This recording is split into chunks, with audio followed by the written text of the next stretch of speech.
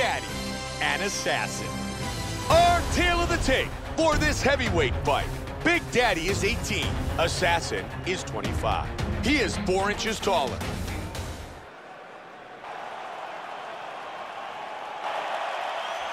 Big Daddy, ready? Assassin. You ready? Southpaw against Southpaw. Fight scheduled for three five-minute rounds. Black trunks for Assassin.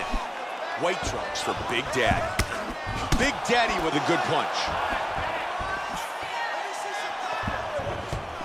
He avoids damage with the nice block. Good leg kick counter by Assassin. A nice one-two with the right and the left. Kick to the body. Beautiful left hand. timing with the left hand. Hurt him with that overhand.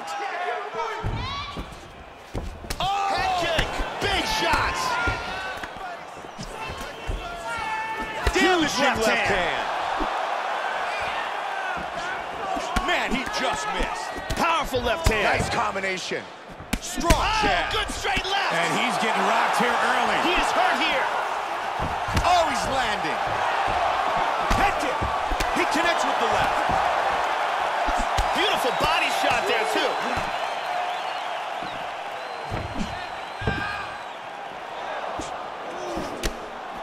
Straight punch. There's a nice combination. Body kick, look at that. That's a big hook.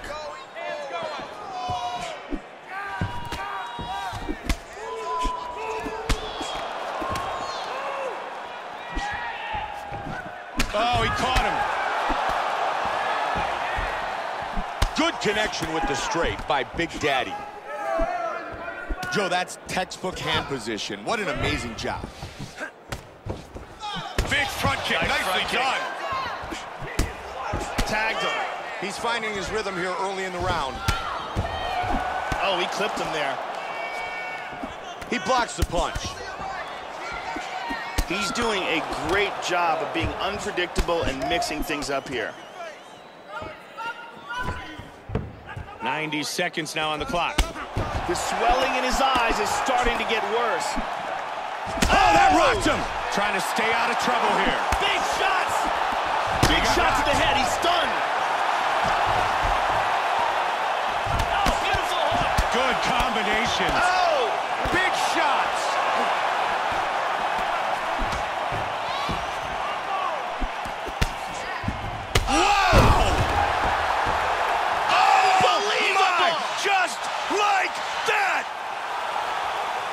Huge knockout victory.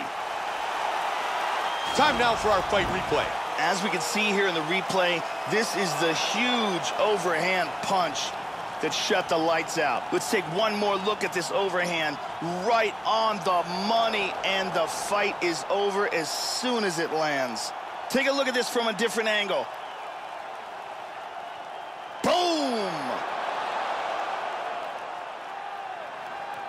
Here's Bruce Buffer with the official decision. Ladies and gentlemen, referee Ian Levine called a stop to this contest at 4 minutes, 10 seconds in the very first round. Declaring the winner by knockout, Assassin! Assassin wins by knockout.